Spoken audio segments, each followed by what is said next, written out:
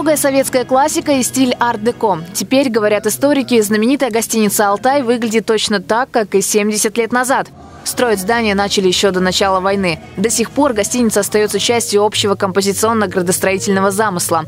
Поэтому было решено вернуть ей первоначальный облик, а именно цвета – терракотово-красный и черный, вместо привычных желтого и оранжевого. Мы сняли несколько слоев краски и добрались до первичных первых слоев и обнаружили абсолютно точно именно то цветовое решение, которое было. И вот мы его воссоздали э, в проекте. Люстра, которая охраняется государством. Лепнина на потолках, парадные лестницы, в каждом номере архивные фотографии старого Барнаула. За свои 70 лет Алтай еще не знал капитального ремонта. Перегородки, перекрытия, а, кровля достаточно в таком а, плачевном состоянии были. А, конечно, нестандартные решения приходилось принимать проектировщикам. По словам архитекторов, в первую очередь они стремились сохранить те решения, которые изначально заложены в проект здания.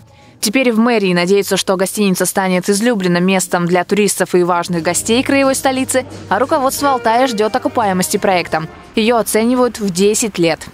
Ирина Корчагина, Николай Шилко. Наши новости.